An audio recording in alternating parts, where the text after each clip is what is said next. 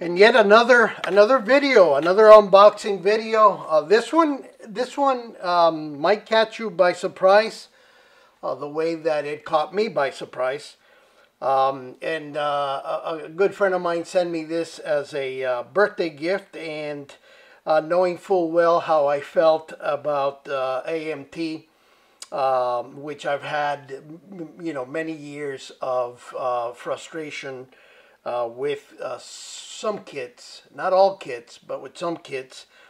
And uh, this kit that I'm about to uh, show you uh, really knocked me out for a variety of reasons. And so uh, let me uh, let me show it to you, uh, and you might be surprised. There, there it is, the '63 Chevy Nova station wagon. and immediately you see this, they, you know, this is. Um, looks like a brand spanking new production. You know, the box is beautiful. Everything about it is uh, gorgeous. Uh, but you know, it's an AMT kit, and I've had my relationship with uh, AMT for a long time. Very frustrating.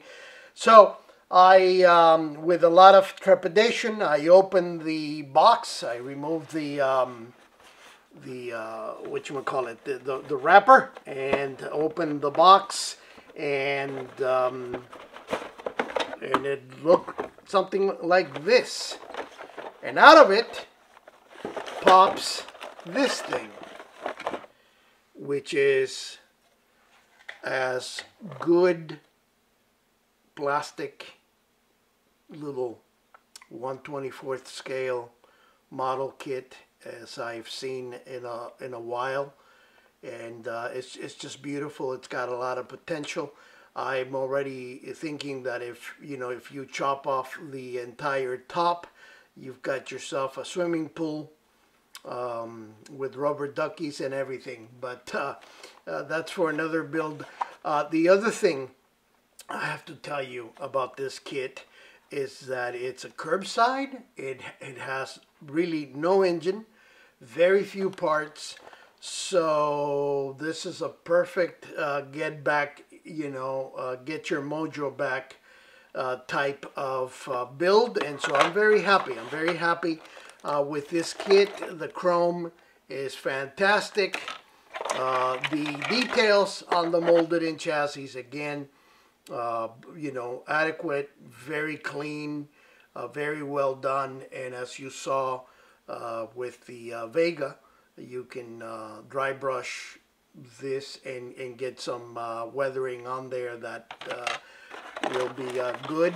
Uh, here's the, um, oh, the underneath engine uh, cover, right? So it, it, does, when I said it didn't bring an engine, it brings a, a molded in engine, right?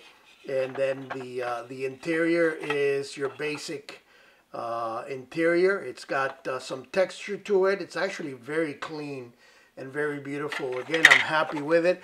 Uh, check out the instructions. Uh, how many how many sheets? I'll tell you right now how many sheets. Let me just get it open. Hey, open up. Here we go. Uh, this is it. Front and back. So th there's the uh, the detailing of this thing. I love it. I, I think it's perfect for ending uh, with a very quick uh, build that you can uh, play around with and, and again get your uh, get your mojo back. So I'm really happy about that. Uh, the glass is immaculate. A little bit of uh, cutting you'll have to do to remove the headlights. Here's the rear seat, the dashboard, the steering wheel, and the lovely, lovely hood. and last but not least, for uh, beautiful tires that um, that are going to make this thing pop.